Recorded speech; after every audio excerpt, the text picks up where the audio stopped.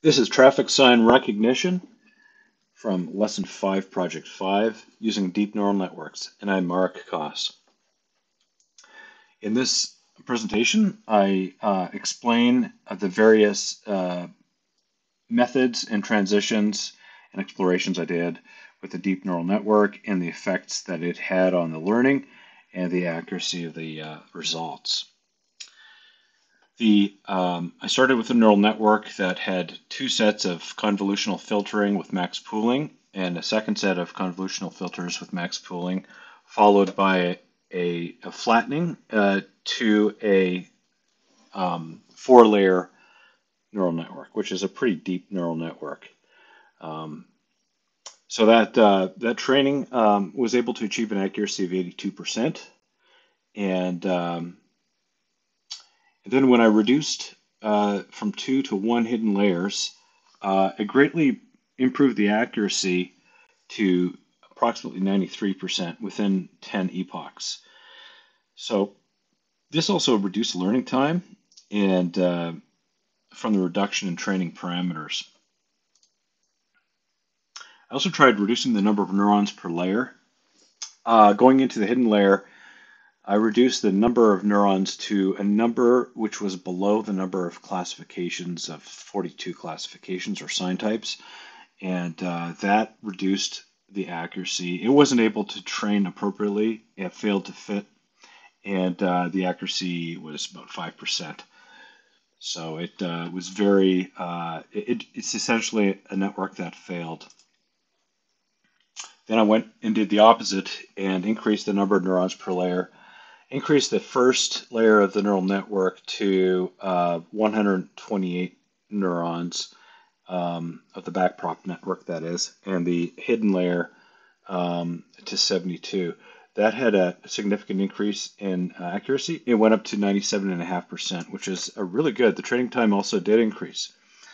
Um, then I increased the pooling size uh, with the first convolutional set of filters and uh, increasing the pooling from a 2 by 2 matrix to a 3 by 3 matrix using the MAX algorithm. And um, it reduced the accuracy, uh, probably diminished the feature resolution enough to lose relevant features.